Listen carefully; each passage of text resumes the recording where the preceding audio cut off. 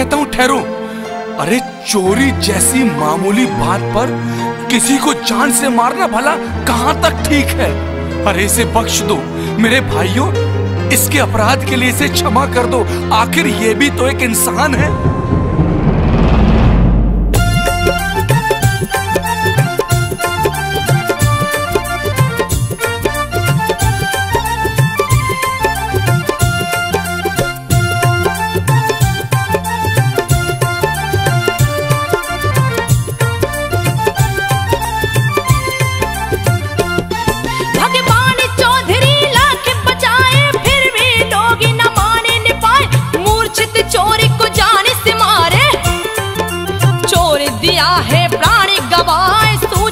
पहुँची है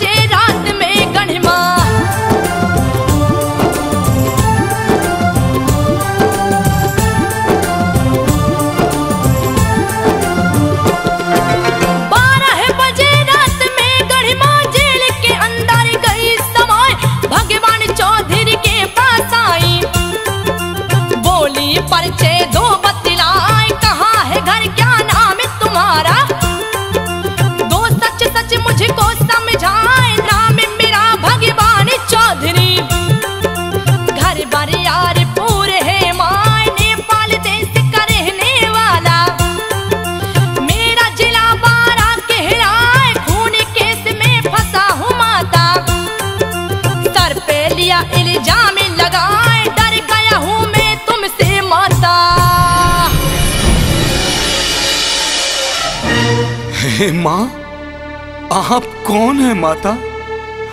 और आधी रात को इस काल कोठरी में आप कैसे पहुँची? मुझे अपना परिचय दे माँ। अपना परिचय दे माँ। आखिर आप हैं कौन?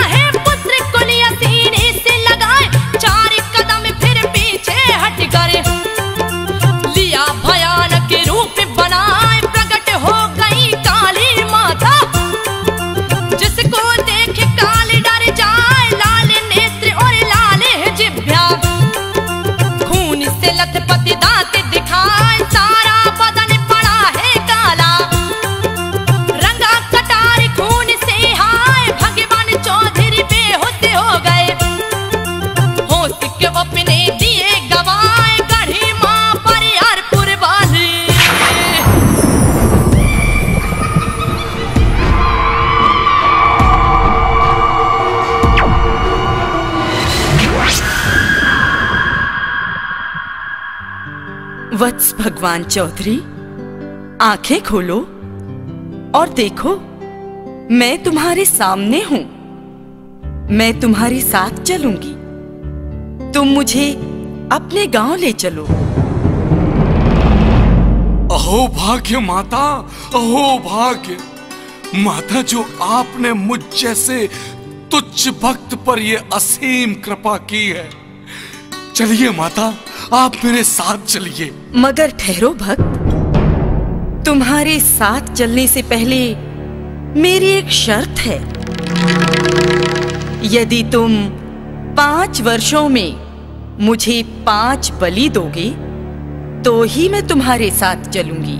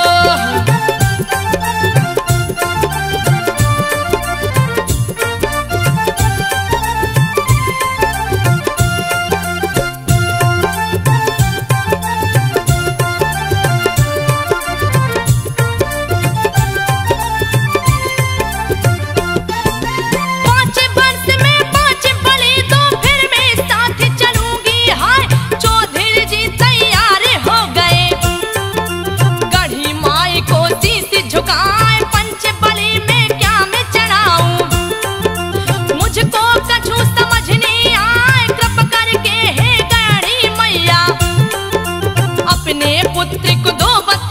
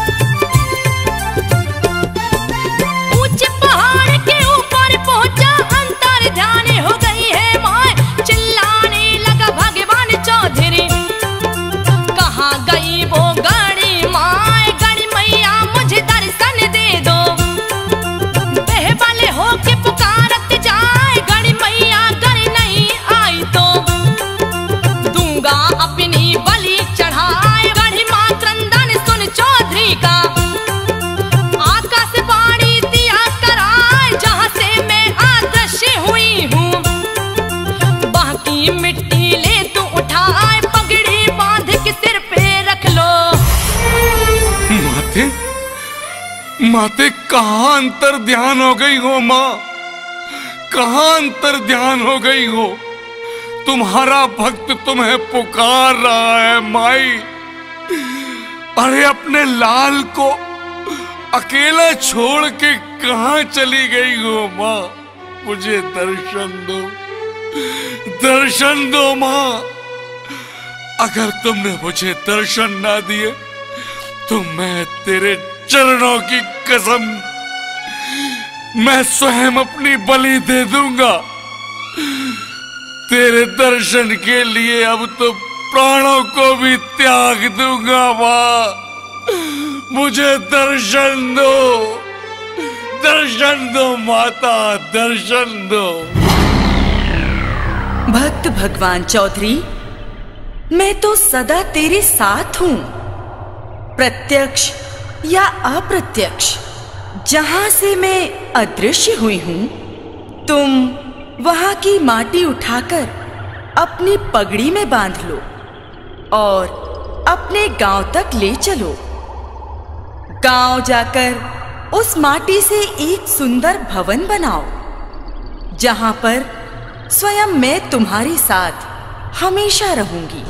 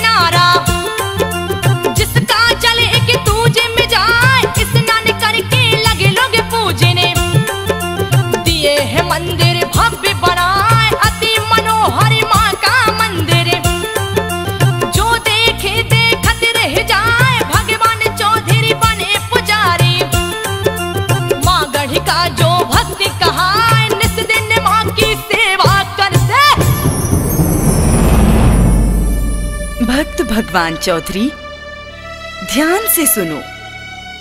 जहाँ पर मेरा त्रिशूल लगा है, वहीं मेरा स्थान बन गया है। आज से मैं यहीं पर निवास करूँगी और मुझे गढ़ी माता के नाम से जाना जाएगा।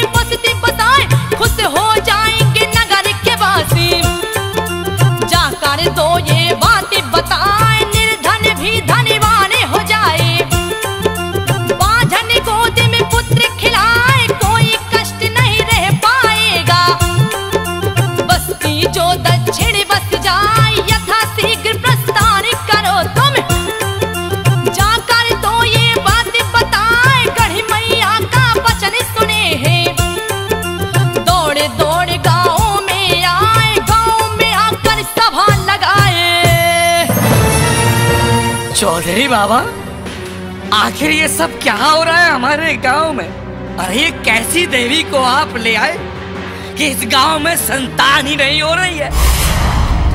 अरे अगर ऐसा रहा तो एक दिन हमारा गाँव संतान विहीन हो जाएगा। भुखमरी छा रही है, खुशहाली खो गई है हमारे इस गाँव की। अरे आखिर कुछ तो उपाय करें चौधरी बाबा।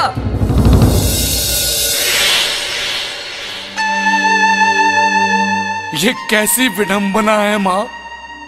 अरे, गाँव के लोग मुझ पर लांछन लगा रहे हैं कि कैसी देवी को उठा लाए हो। तेरी आन पर प्रश्न बना है, माँ। कुछ तो उपाय करो।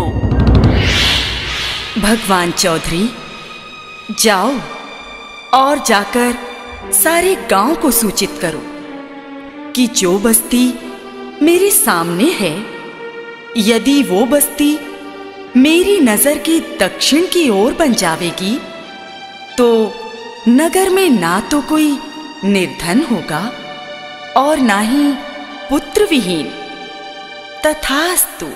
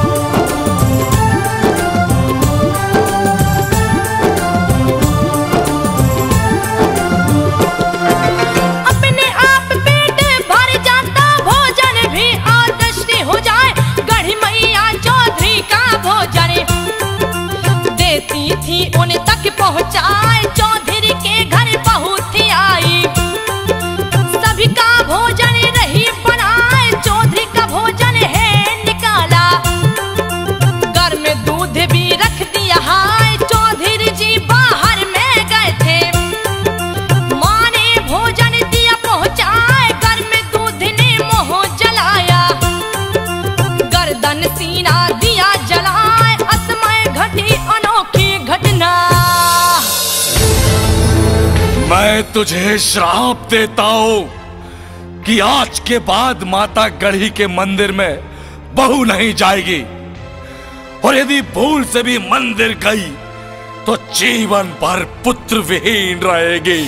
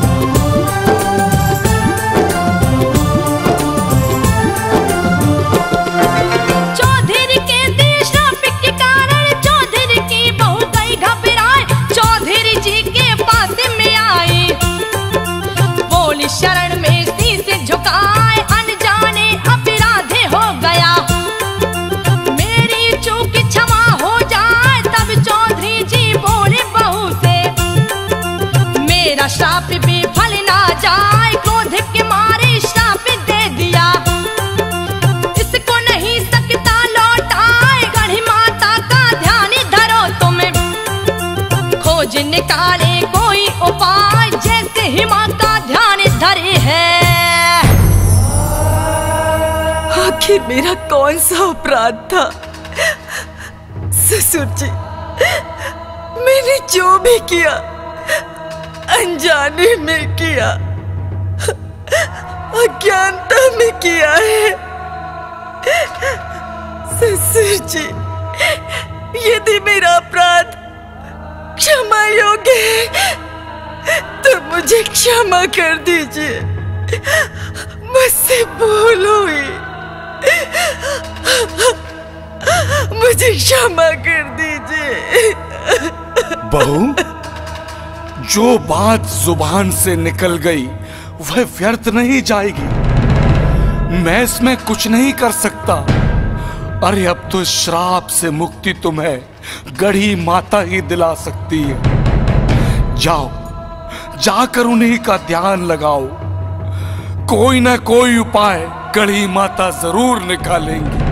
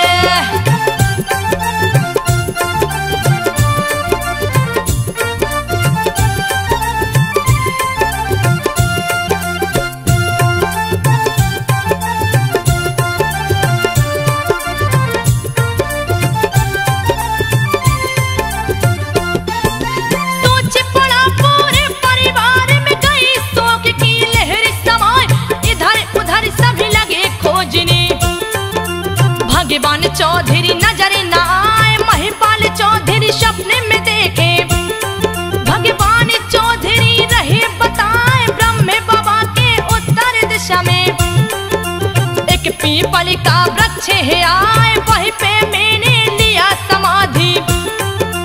तो सबको ये बात बता लड़के की जट अपने घर की। देना मेरे सिर पे चढ़ाए, सरिहन धान का भोग लगाना। पुत्र महिपाल, मैंने ब्रह्म बाबा के उत्तर दिशा में समाधि ले ली है। अर्थात जो भी भक्त माँ गढ़ी के दरबार में सरीहन की धान का भोग और खंसी की बलि चढ़ाएगा और सुबह शाम माई के मंदिर दीपक जलाएगा, उसकी सारी मनोकामना अवश्य पूरी होंगी।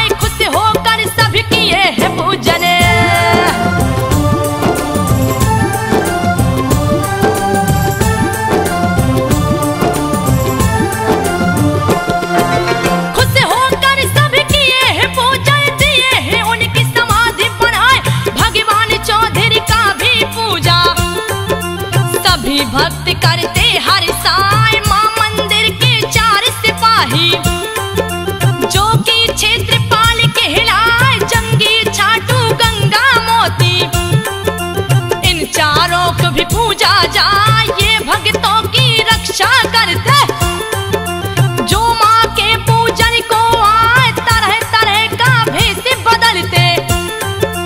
जब जो जी चाहे बन जाए, कभी कुत्ता, कभी बच्चा बन के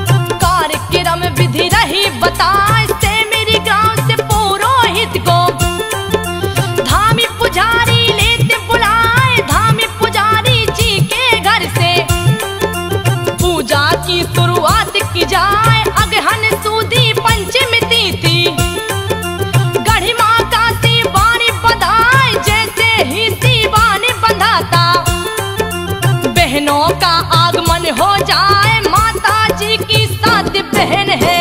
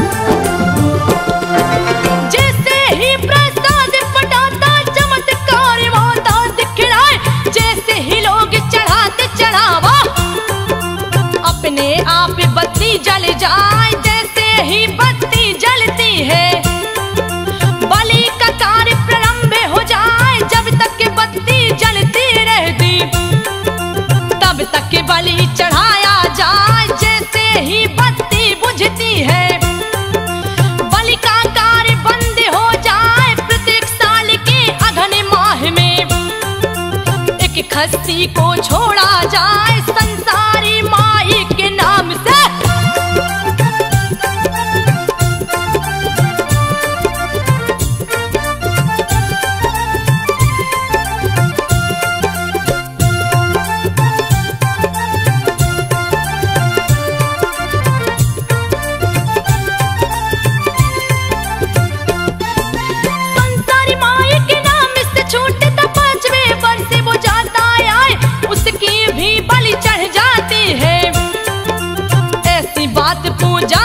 बताए माँ मंदिर की होती परिक्रमा। भक्त गण सभी करते आए, जो भक्त नहीं करते परिक्रमा। उनकी पूजा निष्फल जाए, जो करता है माँ की परिक्रमा। दर्शन का फल उसे मिल जाए अगहन माह की पूर्णिमा तिथि को। पूजा विसर्जन किया जाए, पालिकी में हो माँ की विदाई।